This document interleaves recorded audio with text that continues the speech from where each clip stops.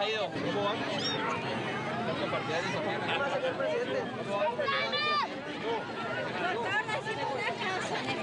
Vamos a ayudar, vamos a ayudar. ¿Qué hubo?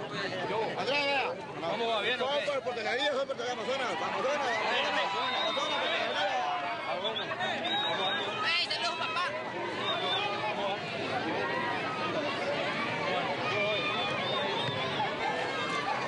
Vamos, vamos.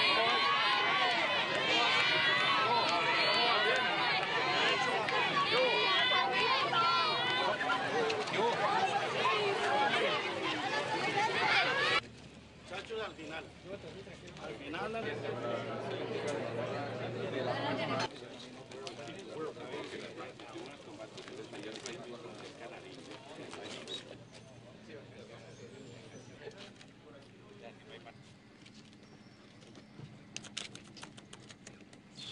Gracias, señor presidente de la República. Esta bandera estará ondeando en todos y cada uno de nuestros batallones con mucho orgullo. para las estaciones de Atenas. Como presidente de Colombia, me permito presentar a todo el personal que integra la Brigada Fluvial de Infantería de Marina un cordial y efusivo saludo de felicitación con motivo de su activación, deseándoles los mejores éxitos en la misión que a partir de hoy se encomienda. En la esquina de los dos grandes océanos se extendían 40.000 leguas cuadradas que Colón entrevió apenas en su cuarto viaje y que hoy lleva su nombre.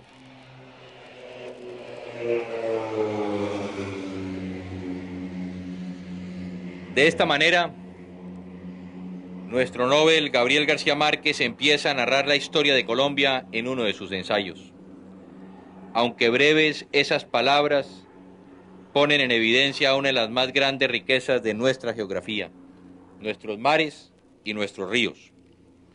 Esa condición natural ha hecho de nuestro país una nación de larga y prestigiosa tradición naval. Nuestra Armada Nacional, guardiana del Caribe y del Pacífico colombianos, vigía de los grandes ríos y nuestra embajadora ante los mares del mundo. Esta institución, con mucha visión de futuro, ha hecho presencia en todo el territorio nacional con una flotilla de botes tripulados por infantes de marina, armados y equipados para velar por la soberanía nacional y por el orden público. Estos cuerpos de combate fluvial prestan un gran servicio a la patria y con el paso de los años han hecho un gran esfuerzo por modernizar sus equipos y ampliar su cobertura. La Armada Nacional, dentro del proceso de reestructuración de las fuerzas militares y con la colaboración de todos los comandantes de fuerza, luego de realizar un profundo estudio y análisis de su infantería, vio la necesidad de crear y de activar la Brigada Fluvial de Infantería de Marina. Esta nueva brigada tendrá a su cargo cinco batallones dispuestos en puntos estratégicos de nuestra geografía nacional. Como ya los conocemos, el batallón fluvial número 50, con sede en Turbo, cubrirá el Riatrato, el batallón fluvial número 60, con base en Yatique, tendrá cubrimiento en las sabanas de Bolívar, sobre los ríos Magdalena, Cauca, San Jorge y Cañomijana. En Puerto Carreño, el batallón número 70 cubrirá los ríos Orino- Orinoco, Meta y Arauca. En Puerto Inírida tiene sede el batallón fluvial número 80, que realizará operaciones sobre los ríos Guaviare, Inírida, Orinoco, Atapapo y Negro.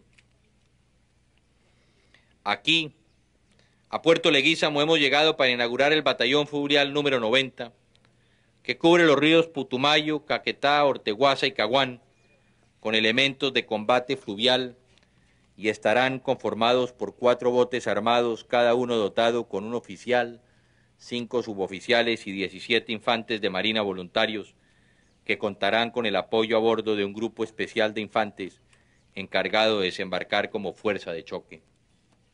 Esta brigada fluvial tendrá una escuela de combate fluvial ubicada en este puerto y más adelante se pondrá en marcha otra en el río Atrato.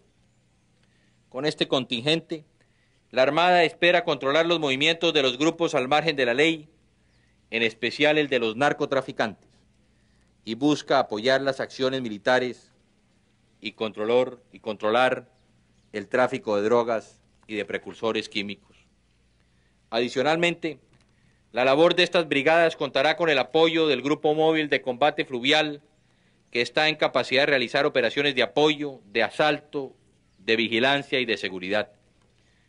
La nueva unidad operativa de la Infantería de Marina demuestra que es una realidad el proceso de renovación, modernización y de cambio en el que están empeñadas las fuerzas militares de Colombia. El inmenso potencial fluvial de nuestro país requería de una unidad especializada, profesional y debidamente entrenada para garantizar su control y presencia constante, para que los colombianos tengamos la seguridad de que nuestros ríos también son rutas de paz y de progreso, y la certeza que son un medio por el cual nuestros campesinos pueden desplazarse y transportar sus productos y sus insumos. Los ríos de Colombia son aliados de la paz y del cambio. Por eso hemos puesto nuestra mirada en ellos. Nos mantendremos firmes en la defensa de la soberanía y en la potencialización de su uso. En nombre de todos los colombianos, encomiendo a esta unidad operativa para que refuerce el control del Estado en nuestros ríos navegables, propicien las actividades que generan progreso para los colombianos y se consoliden como una fuerza de choque que les permita impedir el uso de los ríos para las actividades de la delincuencia.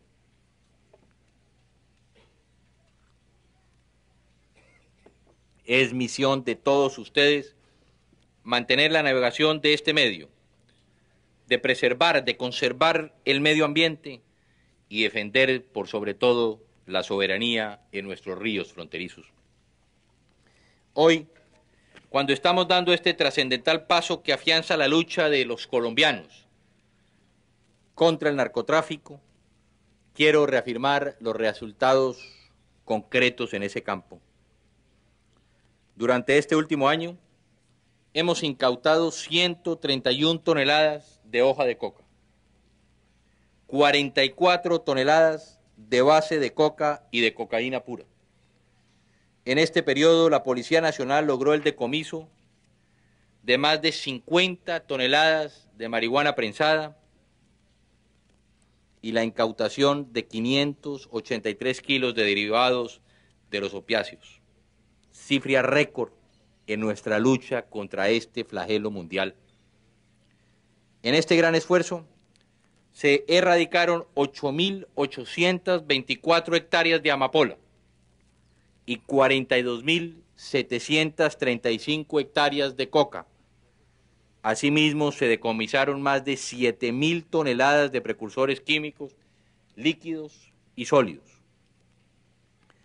Durante los últimos 12 meses, las autoridades destruyeron 144 laboratorios y decomisaron 210 armas, 389 vehículos, 79 aeronaves y se inhabilitaron 50 pistas clandestinas. En estos operativos fueron capturados 1.750 nacionales y 71 extranjeros dedicados a este ilícito. Las cifras lo demuestran y hablan por Colombia. Seguimos comprometidos en la lucha contra el tráfico ilícito de drogas mostrando resultados contundentes y eficaces, con la certeza de tener a los países del mundo como aliados en esta batalla. Cada tonelada incautada, cada kilo decomisado nos acorta la distancia que tenemos que recorrer quienes trabajamos para superar el problema mundial de las drogas. Colombia avanza a paso firme porque cuenta con el decidido apoyo de sus instituciones, como es el caso también de la Armada Nacional, que no ha ahorrado ningún esfuerzo por hacerle frente al narcotráfico y a todo aquello que se convierte en un obstáculo para la reconciliación y para la paz. Como lo dije hace algunos meses, Colombia padece dos guerras nítidamente diferenciables. la guerra del narcotráfico, la guerra del narcotráfico contra el país y contra el mundo, y la confrontación de la guerrilla contra el actual orden social. Mi gobierno, en nombre de toda la nación colombiana, sabe muy bien que con el narcotráfico no existe ni debe existir entendimiento alguno. Y quiero reiterar lo que dije en esa oportunidad. Sabemos que con la guerrilla es posible dialogar para construir un tercer escenario de democracia, aquí en nuestro país, en Colombia, que resuelva las principales contradicciones del orden social y ponga fin a la violencia política. Los colombianos reiteramos nuestro ánimo generoso de dirigir este proceso con coraje y con resolución para sanar nuestra nación, pero nunca para dividirla ni de dar ninguna acogida al narcotráfico.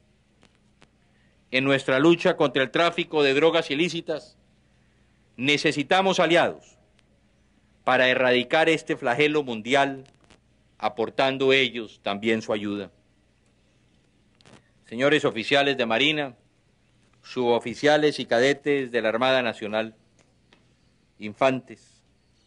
Todo honor exige una responsabilidad que debe ser tan grande como el honor recibido.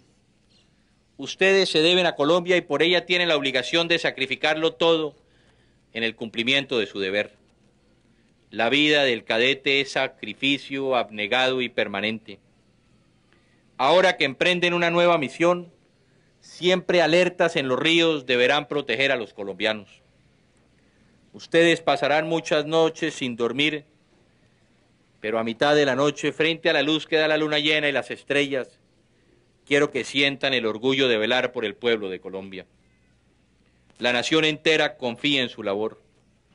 Cada uno de ustedes se ha alejado de sus familias para que haya paz en miles de los hogares colombianos. Por esto sé que nunca terminaremos de agradecerles estos grandes sacrificios que hacen por nosotros. Como orgullo de colombiano veo cómo los miembros de la Armada Nacional son conscientes de la trascendencia de, de, esta nueva misión que alimenta la fe y la esperanza de un pueblo que está empeñado en construir la paz, de construir las bases sólidas de una nueva sociedad más justa que ofrezca oportunidades para todos. Entregamos a partir de hoy un contingente de más de 3.000 hombres, cinco batallones fluviales y un batallón de fuerzas especiales para controlar 8.000 kilómetros de ríos en todo nuestro territorio. Tenemos absoluta confianza en el éxito de su labor. Ustedes cumplirán con altura y orgullo patrio una tarea que nos recuerde el sacrificio de un soldado de Colombia que hace casi siete décadas llegó aquí al sur en el primer contingente que afrontó la toma de Leticia. Cándido Leguízamo Bonilla, quien como ningún soldado en nuestra historia alcanzó tanto renombre, es por antonomasia, gloria y sacrificio. Por eso quiero rendir un especial homenaje a ese gran hijo de nuestra patria, que hoy es un ejemplo para quienes se han entregado al servicio de Colombia. Esta es una exaltación al más puro espíritu de sacrificio que se antepone a todo por el bien de una nación. Su prematura muerte no fue en vano. Apenas había expirado el 12 de abril del año 1933, cuando ya encontramos en nuestra geografía el nombre recordatorio de este pueblo bautizado en su honor. Nomenclaturas de avenidas, de cursos académicos en el ejército, llevan el nombre de Leguízamo como el de un héroe legendario. Él fue el primero, que en la hora primera mostró espléndidamente lo que vale un soldado colombiano. Su rostro heroico se confundió con el rostro glorioso de la patria y cuando llegó su hora final quiso fallecer de pie. Esa es una exaltación de amor a la vida, de amor a sus semejantes y de amor a Colombia. Y quiero que esa anécdota los exhorte a trabajar desde estos ríos por la paz de un país que avanza por el camino de la reconciliación. Muchas gracias.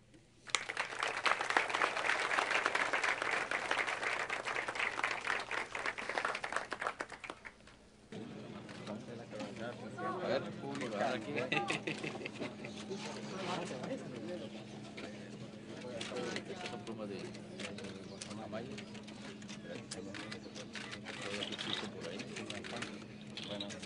Muchas gracias. Hay que trabajar.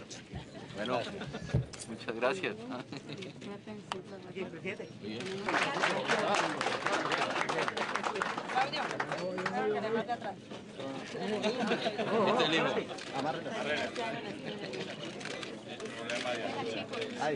Problema de altura aquí ahí.